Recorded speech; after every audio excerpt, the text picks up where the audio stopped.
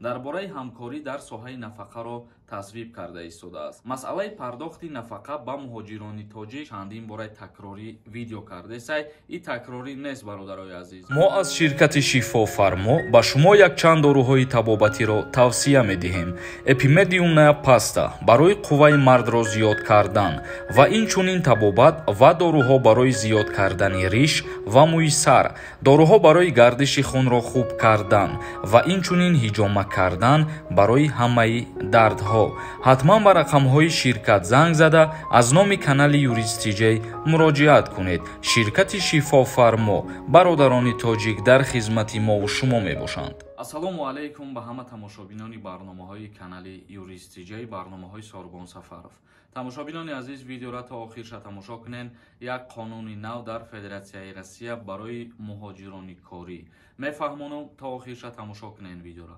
Як чизи дигара ба ҳаматон тавсия метиҳам касое ки дар шаҳри москва қарор дорен ва мехоҳем ки соҳиби регистратсияҳои оригинал бошен пас дар инами рақамҳо ватсапашда муроҷиат кунен айноми ма гап занен регистратсияҳои шуморо тезтар тайёр карда метиҳад. Ва касое ки агар регистратсияҳои прасрочни доштагӣ бошен шуморо ҳам метавонед ки муроҷиат кунед. Бо нархи арзон кортона буд мекунад. Шӯрои федератсия созишномаи таъмини нафақа бо ҷумҳурии тоҷикистонро тасвиб намуд. Созишномаи таъмини нафақа ки миёни москав ва душанбе дар соли 2021 баста шуда буд ба тасвибшавӣ дар мақомоти федератсияи русия дода шуд. Моҳи апрели соли ҷорӣ низ парлумони ҷумҳурии тоҷикистон созишномаи мазкурро ба тасвиб расониданд.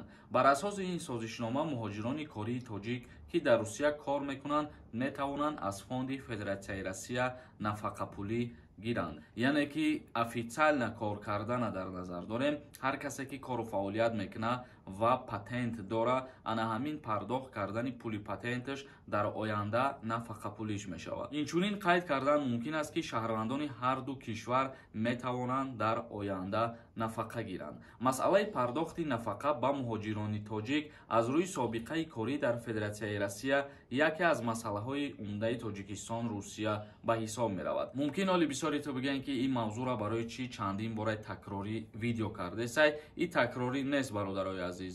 Э, ба ҳаматон хотиррасон мекунам ки охирон боре ки дар ҳамин маврид видео кардагӣ будам моҳи апрел буд ки парлумони ҷумҳурии тоҷикистон э, қонуна ба имзо расид ки барои шаҳрвандони федератсияи россия ки дар тоҷикистон кору фаъолият мекунанд дар оянда нафақапулӣ ҷудо карда шавад.